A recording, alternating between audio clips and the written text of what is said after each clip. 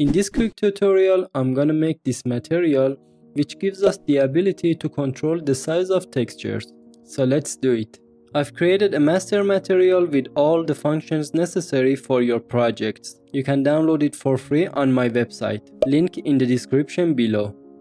Right click in the content browser and create a material. Name it whatever you want. I'll name it m underline texture scale tutorial. Create a material instance and assign it to this simple cube.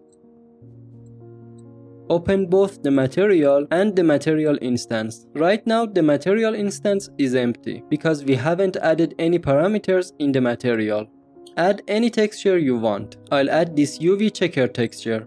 You can download it for free on my website alongside all these other free Unreal Engine assets and the donate button on the top is for those who want to help me continue making them. Connect it to the base color input here.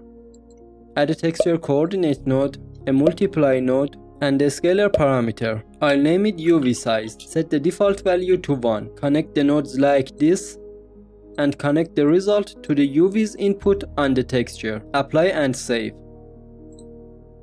Let's check the material instance. The UV size parameter is added here. I'll organize the material and the editor like this so we can better see the changes. When I increase the value, the texture becomes smaller.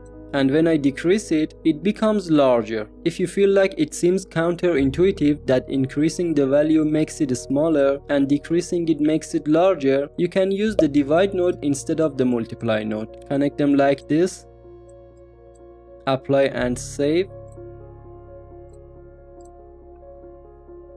Now increasing the value makes the texture larger and decreasing it makes it smaller. But what if I only want to scale in the u-axis or only in the v-axis?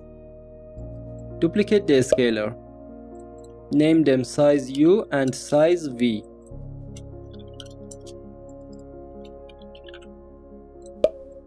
append them together and connect it to the divide node. Apply and save.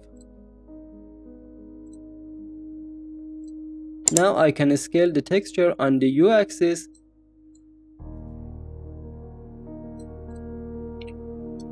or the v-axis. Watch these two videos if you're curious how and why this is happening. I'll put their links in the description below. And watch this video for more Unreal stuff. So thank you so much for watching. Like this video, subscribe and join our community on Telegram, Discord and Facebook. If you have any questions, leave them in the comment section below. So, see you in the next one.